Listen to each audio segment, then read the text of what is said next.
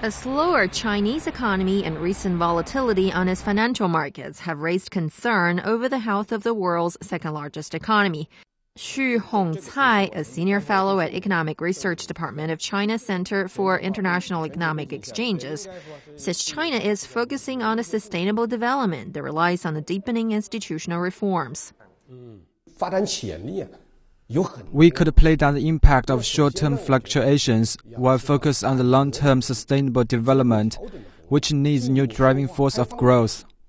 The transition relies on two elements, namely entrepreneurship and innovation, which not only reflects the effect of structural reform, but also stimulates innovation activities.